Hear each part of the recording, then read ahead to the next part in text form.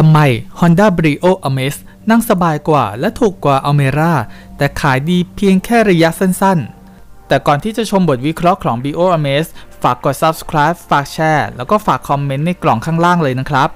หลังจากที่ Honda ประสบความผิดพลาดไปกับ Brio Xcement Hatchback ที่ดูเหมือนว่าตัวรถจะไม่ตรงกับรสนิยมของลูกค้าชาวไทยเมื่อปี 2011 เลย แต่ก็ใช่ว่า Honda ไทยจะยอมแพ้กับรถตระกูล Brio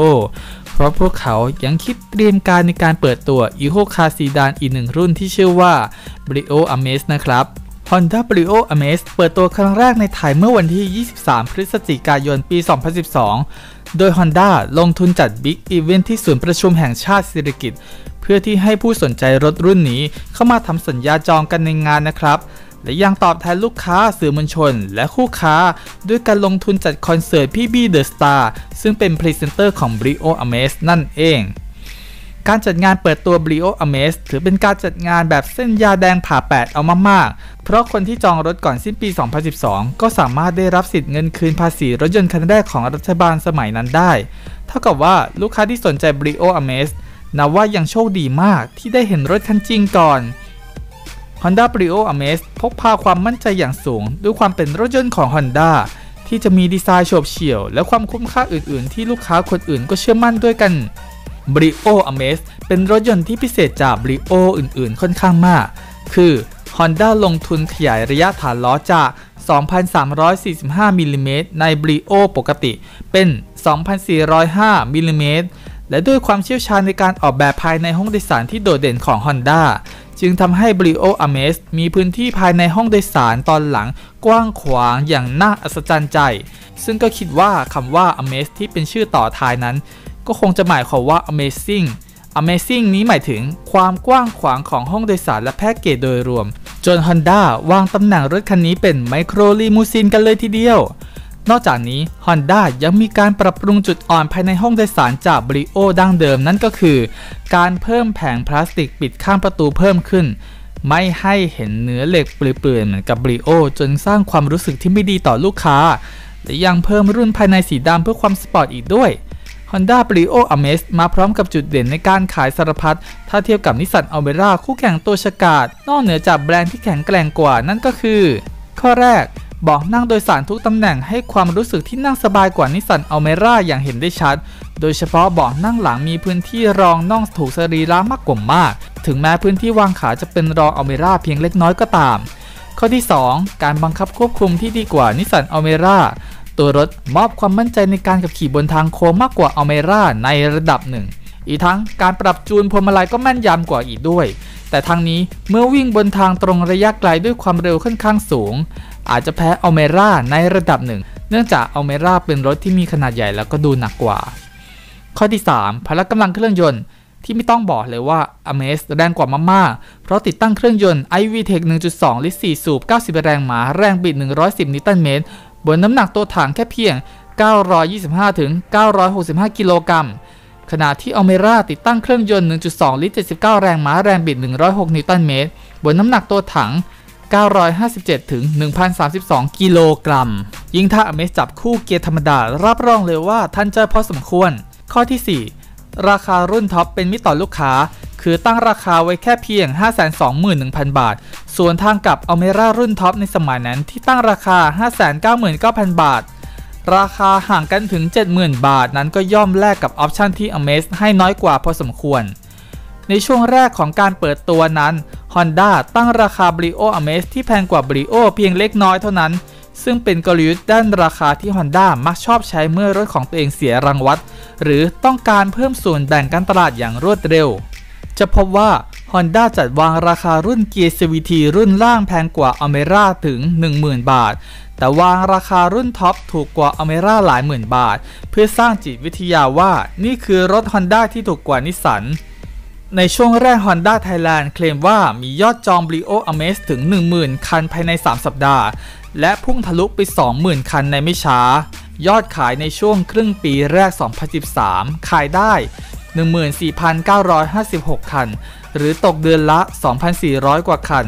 สามารถไล่บี้นิสสันอเมร่าได้ และตลอดครึ่งปีหลัง 2013 ก็สามารถรักษายอดขายระดับ 1-2,000 คันต่อเดือนได้ แต่เมื่อเข้าสู่ช่วงการแข่งขันรถยนต์อีโคคาร์ที่รุนแรงมากขึ้น ก็ทำให้ยอดขาย Brio Amaze ไหลร่วงลงอย่างต่อเนื่อง จนล่าสุดเหลือยอดขายแค่เพียงหลักสิบหลักร้อยคันเท่านั้นทำไม Honda Brio Amaze จึงประสบความสำเร็จเพียงแค่ช่วงสั้นๆ ทั้งๆทที่ Honda วางกลยุทธ์ไว้แน่นหนาแล้ว และนี่ก็คือบทวิเคราะห์จากข้อมูลที่ติดตามข่าวสารกันมา หากผมทำอะไรให้ใครไม่พอใจแก่ฝ่ายใด ก็ต้องขออภัยมาณที่นี้ด้วยนะครับ ข้อแรก ขนาดตัวถังสวนทางกับความคุ้มค่าเอามากๆ Honda พยายามวางเกมตั้งราคาตัวท็อปที่ถูกกว่า Almera และรองท็อปของ Amaze ก็แพงกว่าราคา Almera CVT รุ่นเริ่มต้น 10,000 บาท แต่ลูกค้าไม่อาจรู้สึกถึงความคุ้มค่าของตัวรถแต่อย่างใด เพราะ Amaze มีความยาวตัวถังแค่เพียง 3,990มิลลิเมตรกว้าง 1,680มิลลิเมตรขณะที่ Almera ยาวถึง 4,226มิลลิเมตรกว้าง 1,695มิลลิเมตรแถมระยะฐานล้อ Almera ก็ดันยาวกว่า Amaze เกือบ 200มิลลิเมตรด้วยความแตกต่างของขนาดตัวถังที่แตกต่างกันราวกับตากับหลานเช่นนี้แต่ก็ต้องวางราคาขายในระดับเดียวกัน มันก็ชัดเจนแล้วว่าในระยะยาว ลูกค้าชาวไทยก็ต้องเลือกรถที่มีขนาดตัวถังที่ใหญ่กว่า กรณีนี้เองอเมร่ามันดันใหญ่กว่าอเมสแบบชัดเจน และชัดเจนมากจนเกินไป ก็ยิ่งทำให้อนาคตของอเมสอยู่ยากพอสมควร เพราะไม่รู้ว่าจะจ่ายเงินเท่ากัน แต่ได้รถเล็กที่เล็กกว่ากันมากๆ ไปทำไม ข้อที่ 2 ด้านดีไซน์